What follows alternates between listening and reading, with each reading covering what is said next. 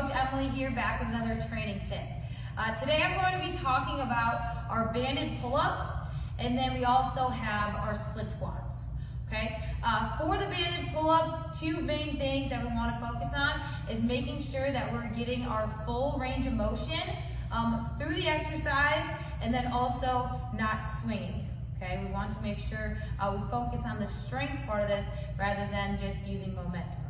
Okay, so you're gonna stand up, start, get yourself up on your bench here so and then you're going to do them assisted. So with the band, I'm gonna put it underneath the bottom of my foot here, and then fully extend down um, so that leg is straight.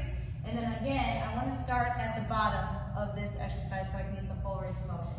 Okay, so legs, try to stay straight. Nice, slow control, pull yourself up, chin over the bar,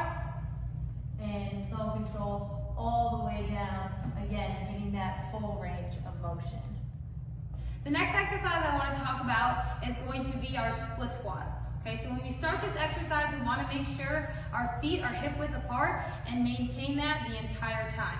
Okay, so when you take a step forward to go into your split stance, notice how my feet stayed hip width apart. I didn't get too narrow or too wide. Right, so start hip width apart and then big step forward. From here, we want to make sure that we're going straight down and we keep the chest up, core tight, and staying tall. Chest, knee, back knee, down to the ground, and then standing up. Okay, another thing um, that we sometimes see is the knee will kind of go in as we do our split squat. We want to make sure that our hip, our knee, and our ankle all stay in a straight line. So taking it down into the split squat and then standing up. I'll show you again one more time from the side. Hip, feet hip width apart. Step forward, neutral spine, core tight, and drop that back knee. Stand up. All right, ladies, that's all I have for your Training Tip Tuesday today. Have a great workout, and I'll see you ladies soon.